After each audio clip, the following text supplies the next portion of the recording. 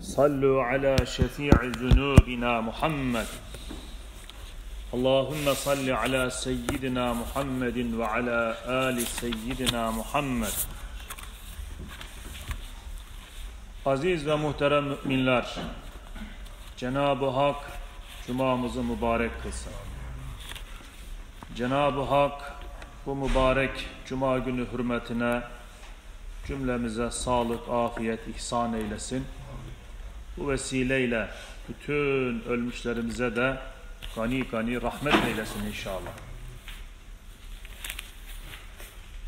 Kur'an-ı Kerim'de Yüce Rabbimizin, sevgili Peygamberimizin, peygamberlerin, Allah'ın gönderdiği nebilerin, rasullerin dilinden, lisanından yapmış olduğu, aynı zamanda da bize de öğretilen güzel dualar var. Bunlardan bir tanesi az önce vaaza başlarken bütün vaizlerin bu duayı yaparak başladığı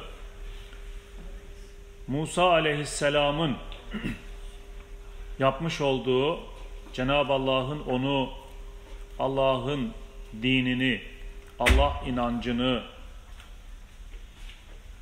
Firavun'a anlatmak üzere, Firavun'a tebliğ etmek üzere gönderdiğinde Musa aleyhisselamın biraz endişe ettiğini, tereddüde düştüğünü, biraz korktuğunu görünce ona şu duayı öğretmişti Rabbimiz. Rabbi şrahli sadri ve yessirli emri vahlul ukdeten min lisani yefkahu kavli. Ya Rabbi Rabbi şrahli sadri Ya Rabbi benim göğsüme genişlik ver. Hani bir insan korktuğunda endişeye düştüğünde ne yapar? Göğsünde bir daralma meydana gelir değil mi? Rabbi şrahli sadri Ya Rabbi benim göğsümü göğsüme genişlik ver. Yüreğime genişlik ver. Ve yessirli emri ve benim bu yapacağım tebliğ işini, davet işini bana kolaylaştır. Kolay eyle. Vahlul ukdeten min ve benim dilimdeki bağı, tutukluğu çöz. İnsan biliyorsunuz heyecanlandığında dili karışır, dili dönmez. Özellikle büyük insanların karşısına çıkıldığında bir çocuk bile bir büyüğünün karşısında heyecanlanır, dili takılır, dili dolaşır. Musa aleyhisselam da o zalimin karşısına çıkacağında vahlul ukdeten min lisani dilimdeki bağı çözüver ya Rabbi ki yefkahu kavli böylece bu vesileyle benim sözlerimi anlasın benim sözlerim onun yüreğinde makes bulsun onu kabul etsin bu şekilde dua ederek Musa aleyhisselam Firavun'a gidiyor. Nihayetinde biliyorsunuz akıbet, hidayet Allah'ın elinde. Hidayet nasip olmayacaksa bir peygamber bile gidip bizzat kendisi davet etse, tebliğ etse bile olmuyor. Tamamen Allah'ın e, istediği istikamette hidayet neticeleniyor, sonuçlanıyor. Hidayet meselesi Biliyorsunuz bir kişinin çok güzel anlatımıyla, çok güzel sunumu sebebiyle belki bir sebep teşkil edebilir. Yani dinin anlatılması, dinin sunulması güzel bir anlatışla, güzel bir delille mutlaka faydası vardır. Sebeptir bu. Ama sonuç değildir. Sonuç Allah'ın elindedir. Nasıl ki yağmur bir sebeptir. Ama esas sonuç Cenab-ı Allah'ın emridir değil mi? Bazen bulutlar gözükür gözükür ama yağmur yine de gelmez. Niye? Çünkü ona emir veren Allah yağdır dememiştir. Her şeyde de böyledir. Cenab-ı Allah'ın iradesiyle bütün kainatta her şey tecelli etmektedir. Zaten Yasin suresinde de bildirildiği üzere innema emruhu iza arade şey'en en yekule lehu kun feyekun. Cenab-ı Allah'ın işi bizim işimiz gibi değildir. O bir şeyin olmasını murad ettiğinde, istediğinde en yekule lehu kun feyekun. Ona ol der olur. Bu kadar basit. Ama biz beşer, insanlar bir şeyi murad ettiğimizde, istediğimizde ne yapmamız lazım? Sebepleri oluşturmamız lazım. Mesela işte bir kişi eğer evlat murad ediyorsa evlenmesi lazım. Bu bir sebeptir. İşte eğer bir mahsul kaldırmak istiyorsa bahçesinden, tarlasından onu ekmesi lazım. Bu bir sebeptir. Onu sulaması lazım. Bunlar sebeptir. Ki bu sebepler neticesinde eser meydana gelebilir. Ama Cenab-ı Allah'ın iradesinde, işlerinde sebebe, sonuca hiçbir şeye gerek yok. Cenab-ı Allah ol derse olur, yok ol derse yok olur. Hazreti Adem Aleyhisselam'ın yaratılışında bir anne baba mı var? Değil mi? Cenab-ı Allah'ın ol demesiyle oluyor. Veyahut da Hazreti İsa Aleyhisselam'ın dünyaya gelmesinde anne var, baba yok.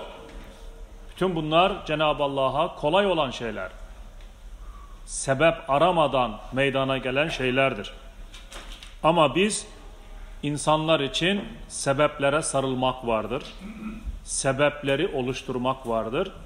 Sebepleri oluşturduktan sonra da Allah'a tevekkül etmek vardır. Ya Rabbi ben kulunum, bana düşen kısmını ben yerine getirdim. Bundan sonrası benim işim değil. Senindir ya Rabbi. Öyle değil mi? Bir çiftçi tohumunu eker, ondan sonra da ellerini açar. Ya Rabbi bana düşen vazifeyi ben yaptım. Bundan sonra bunu bitirecek olan, bunu büyütecek olan, bunu sulayacak olan sensin ya Rabbi. Yağmur rahmet verirsen bu olur. Bu rızık haline gelir deriz biz kullar. Yine kıymetli kardeşlerim Müminun suresinde Yüce Rabbimiz bize bir dua öğretiyor. Rabbim şeytanların kışkırtmalarından sana sığınırım. Rabbi inni e'uzu bike min hemezatiş şeyatin ve e'uzu bike Rabbi en yahdurun. Biliyorsunuz biz kıymetli cemaatimiz Eûzu besmele çekeriz. Özellikle eûzu çekmek Kur'an-ı Kerim okumadan önce yapılması farz olan bir vazifedir. Ve izâ qara'tel Kur'âne festaiz billahi mineşşeytanirracim. Kur'an okumayı istediğinizde, murad ettiğinizde mutlaka istiaze yapınız. Yani euzu çekiniz. Euzu besmele çekmek. İşte burada da biliyorsunuz yine Kur'an-ı Kerim'de istiaze Allah'a sığınmaya çalışmak demek. Biliyorsunuz insanoğlu kötülüklerden, şerlerden, yanlışlıklardan sığınacağı en yüce makam Rabbinin makamıdır. En güzel sığınılacak odur. Muavezeteyn diye Kur'an-ı Kerim'de bildiğimiz iki tane mühim sure var. Kur'an-ı Kerim'in en son sureleridir bunlar. Kul e'uzu bi rabbil felak min şerri ma halak ve min şerri gasiqin iza vekab diye devam ediyor biliyorsunuz. Diğeri de kul e'uzu bi rabbin nas. Bunlar muavvizeteyn. Allah'a korunmak amacıyla nelerden korunması gerekiyorsa Allah'a sığınma ayetleridir. Sığınma dualarıdır bunlar. İşte burada da Ya Rabbi Rabbi inni e'uzu bike min hemezatiş şeyatin Ya Rabbim şeytanların kışkırtmalarından sana sığınırım. Onların yanımda bulunmalarından da sana sığınırım şeklinde güzel bir duadır Mü'minun suresinde. Peki şeytanlar denince aklımıza ne geliyor? Bizim görünmeyen cinler aleminde yaratılmışlar aklımıza, düşüncemize geliyor değil mi? Halbuki şeytan dendiğinde Cenab-ı Allah onun vasfını bize az önceki okuduğum ayetlerde öğretmiş. Minel cinneti ve nas. Şeytan hem cinlerden olur hem de insanlardan olur. İnsanların içerisinde de e, adeta şeytanın hizmetine girmiş, şeytanın misyonunu yüklenmiş, şeytana sen şöyle bir otur ben senin görevini yaparım diyen pek çok kişi vardır. O manada mesela Allah muhafaza hem görünmeyeni bizim göremediğimiz cinlerden olanı tehlikelidir, vesvese verir. Hem de görüneni bu en yakınımızda bir kişi olabilir. Bize iyi niyetle yaklaşıyormuş gibi davranıyor olabilir. Bütün bunlar insanı ayartan, kışkırtan, zaten insanoğlu biliyorsunuz tahrike açık bir varlık. Kışkırtmaya açık bir varlık. Onu haramlara meyil noktasında davet eden birisi bulunduğunda biliyorsunuz yeryüzünde bir hakka davet edenler var. Bir de şerre, kötülüğe davet edenler var. İki tarafın da davetçisi var. Hayra davetçiler de var, şerre davetçiler de var. Rabbim bizleri hayra davetçilerden eylesin. Şerre, kötülüğe davetçilerden eylemesin. En kötüsü de bir insanın kendi kendine günah işlemesi bir nokta, bir de kendini bırakıp başkalarını da ayartması o daha da önemli kötü bir noktadır. Çünkü hani insan kendi günahını ancak çeki, kendisi çekebilir. Bir de bunun yanında başka tertemiz insanları günaha kışkırtmak, günaha meyletmek, onları günaha davet etmek. Hatta bunu yaparken böyle cazip kelimeler kullanmak. Mesela adam az çekingen davranıyor. Ya işte ben o işleri bıraktım diyor. Günahmış diyor.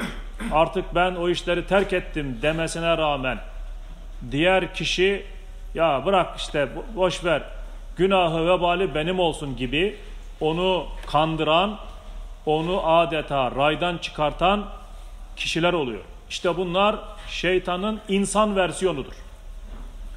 Halbuki biz biliyoruz ki ilahi Kur'an-ı Kerim'de esaslarda, ayetlerde biz şunu çok iyi biliyoruz ki hiç kimse başkasının vebalini, günahını üstlenmiyor. Allah'ın ayetlerine göre. Herkes kendi günahını çekecek. وَلَا teziru وَازِرَةٌ vizra uhra. Hiçbir günahkar başka birinin günah yükünü çekemez diyor. Çekmez diyor. Ama öyle demiyor adam. Onu harama, kötülüğe teşvik ederken öyle bir cazip anlatıyor ki sen yap yap, sen işle işle, varsa günahı benim olsun, ben çekeyim, günahı vebali benim olsun diyerek o adamcağızı da cesaretlendiriyor, yüreklendiriyor. Ondan sonra da onu bir anda haram çukurunun içerisine katı veriyor. Allah bu türdeki insanlardan da hem bizleri hem de yeni yetişmekte olan genç evlatlarımızı muhafaza eylesin. Çünkü yeni yetişen gençlik bazen muhakeme sıkıntısı yaşıyor olabilir. Çünkü o henüz hayatın türlü türlü hallerini görememiştir. Kim iyilikle yaklaşıyor, kim kötülükle yaklaşıyor bunu bilemeyebilir. Gençtir. Ama yaşlı bir insanın tecrübeleri zamanında yaşamıştır, görmüştür. İyiliği, kötülüğü az çok bilmiştir, öğrenmiştir. Ama yeni yetişen bir çocuk hayatı yeni öğrenen bir çocuk iyiliği, kötülüğü bazen ayırt edemeyebilir. Bazen şaşırabilir. Onun için bu konularda en çok Rabbimizin yardımı gençlerimizin üzerine olsun inşallah. Rabbim onları korusun. Yine İsra suresinde bize öğretilen güzel bir dua Allahümme Rabbi edhilni müdhale sıdgın ve ahricni muhrace sıdgın ve cealli milledünke sultanen nasira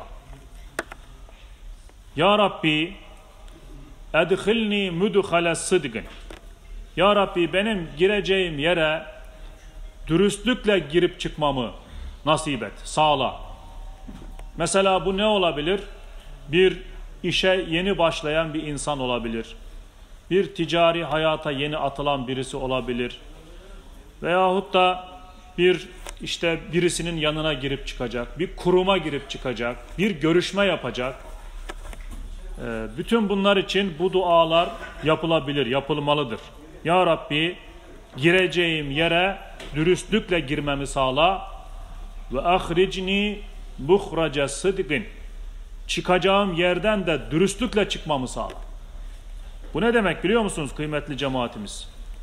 Mesela bir ticaret amacıyla bir yere giriyorsunuz. Satıcısınız ama pazarlamacısınız.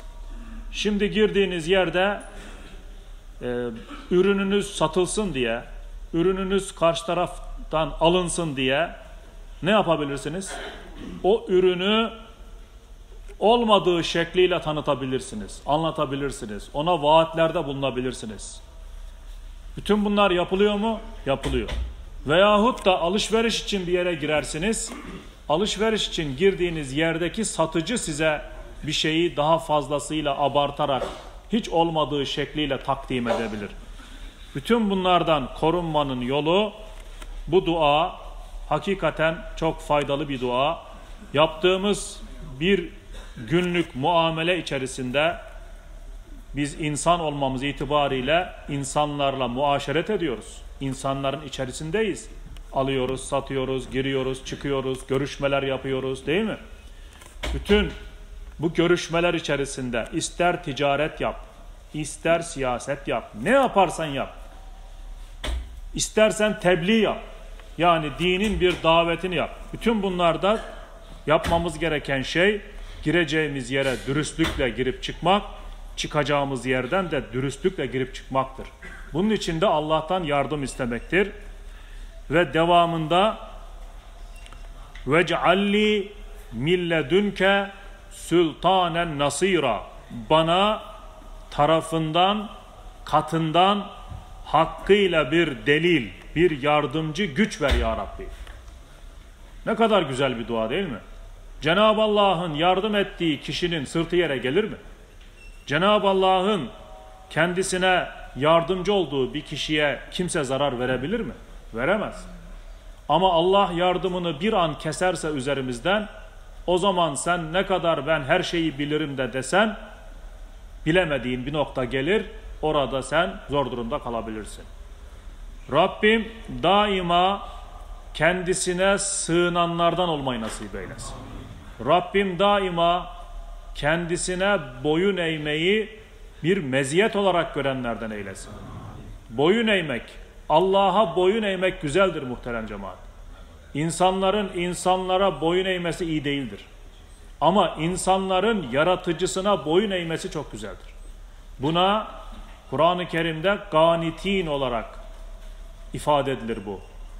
Cenab-ı Allah bazı kişileri överken, vasfederken Es-sabirin bir sabredenleri Cenab-ı Allah çok övüyor. Ve sadikin sadakatle hareket edenleri yani doğruluktan ayrılmayanları. Biliyorsunuz doğruluk bitmez tükenmez bir hazinedir. Doğruluğun sonu mutlaka güzelliktir. Doğruluğu, doğrulara Allah'ın yardımı çok rahat oluyor, çok kolay oluyor. Bakınız ayeti kerimede özellikle kelam ederken, söz söylerken Rabbimizin bize bir adeta müjdesi diyelim veyahut da vaadi diyelim. Söz, söz söyleme usulü içerisinde hepimiz evde söz söyleriz, işte söz söyleriz, sokakta söz söyleriz, Cenab-ı Allah çünkü bize kelam vasfı, kelam özelliği vermiş. Beyan özelliği vermiş. Bakın Rabbimiz bize neyi öğretiyor? Ya eyyühellezine amenüttegullah. Ey Allah'tan korkan, takva sahibi mümin kullarım. Ve gulu kavlen sedide. Ve gulu kavlen sedide. Konuştuğunuzda dost doğru konuşun. Dost doğru. Yani öyle lafı eğip bükme, lafı böyle işte değişik yerlere çekme bunları değil. Dost doğru konuşun ki yuslih leküm a'maleküm. Allah böylece işlerinizi yoluna koysun buyuruyor. Yani bu ne demektir biliyor musunuz? Siz dost doğru konuşursanız bunun mükafatı olarak yuslih leküm a'maleküm. Allah sizin işlerinizi yoluna koyardır. Başka ikinci bir müjdesi daha var. Yetmiyor. İkinci bir müjde daha veriyor. Ve yağfir leküm zunubeküm. Küçüklü büyüklü günahlarınız, hatalarınız varsa Allah onları da bağışlar. Onun için kıymetli kardeşlerim Allah hangi işte olursa olsun sözlerimizde bizleri doğruluktan, dürüstlükten ayırmasın. Fakat günümüzde maalesef doğru söz söylemek, doğru konuşmak, saflık, enayilik, hemen anında gerektiğinde bir yalan uyduru vermek de uyanıklık olarak gözüküyor. Bu da bir gerçek yani. Ya işte orada iki kelime yalan uyduramadın mı diyor adam sana. Sen diyor safsın diyor ya. Orada iki kelime şöyle deseydin senin işin olurdu diyor. Bakın deseydin değil. Olan durum ne? Olan durum. Cenab-ı Allah da bize bu Kur'an-ı Kerim bize neyi öğütlüyor? Olduğu gibi olanı anlatmamızı öğütlüyor. Ama sen olduğu gibi değil. Olmadığı gibi karşı tarafı ikna etmek için bir şey söylüyorsun ve senin de işin yoluna gireceği zannediliyor. Böyle değil muhterem cemaat. Hayat böyle değil. Hayat eğer biz kafamıza göre bir hayatsa hayat böyle tamam. Ama Kur'an'a göre bir hayatsa hayat böyle değil. Hayat nasıl Kur'an'a göre? Ya eyyühellezine amenüttegullah. Ey müttaki, mümin kullarım. Ve kulu kavlen sedide. Konuştuğunuz zaman konuşmanız ok gibi olsun dost doğru. Kavlen sedide. Ki dost doğru ok gibi konuşursanız yuslih leküm a'maleküm. Allah işin sonucunu tatlıya bağlatır. İşlerinizi yoluna koyar. Bununla da kalmaz. Ve yağfir leküm zünübeküm. İnsan olmamız hasebiyle işlediğimiz küçüklü büyüklü hata, kusur, günah varsa onları da siliveririm diyor. Onları da affediveririm diyor. E şimdi bunu duyduktan sonra yapılacak iş Kur'an'a göre kelam, Kur'an'a göre söz, Kur'an'a göre beyan ve bunun sonunda da Allah'ın yardımının erişeceğini mutlaka bilmeliyiz. Şunu hiç unutmamalıyız ki bu bir atasözü. Atasözleri biliyorsunuz Kur'an'dan süzülen aynı zamanda hadisten süzülen güzel sözlerdir. Ne demiş atalarımız? Doğru duvar yıkılmaz demiştir. Doğru sözün sahibi de kolay kolay e, mahcup olmaz. Sıkıntıya düşmez. Çünkü Allah doğruların yardımcısıdır. Allah doğrularla beraberdir. Allah bizi doğruluktan, dürüstlükten ayırmasın. Sabırla dinlediniz. Cumamız mübarek olsun. Allah rızası için El Fatiha.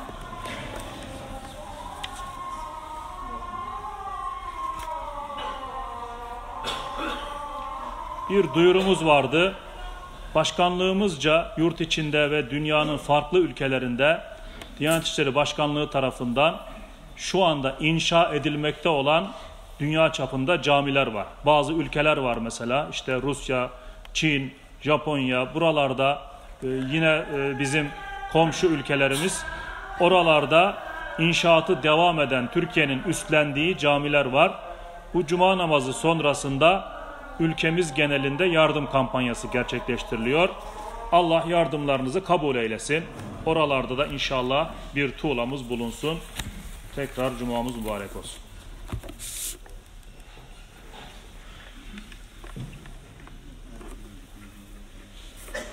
Allah!